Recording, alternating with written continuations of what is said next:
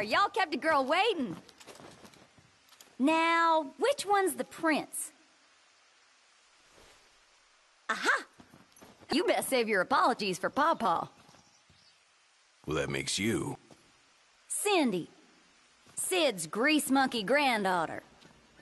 Roll her in while I'm still young. Y'all heard him. Let's get moving. Right this way.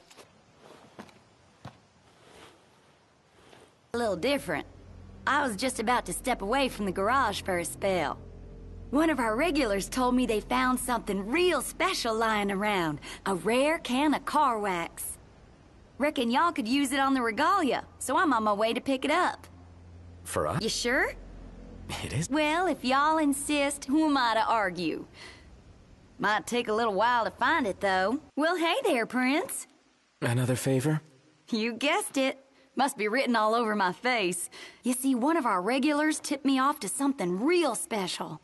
Little thing called a supercharger, and a pretty powerful one at that. You boys wouldn't happen to be interested in one, would you?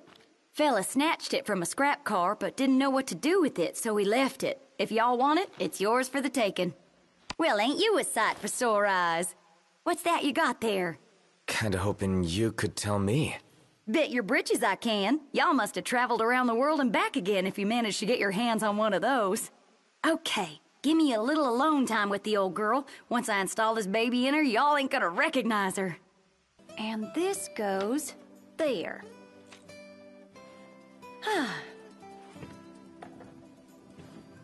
there.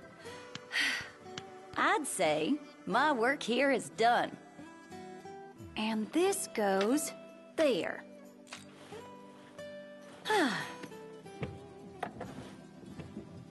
There. Good as new.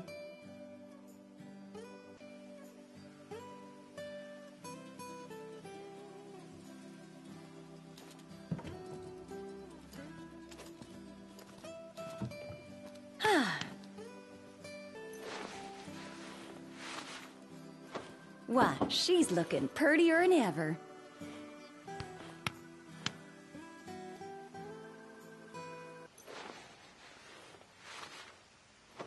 All pretty again. Take care of her, you hear?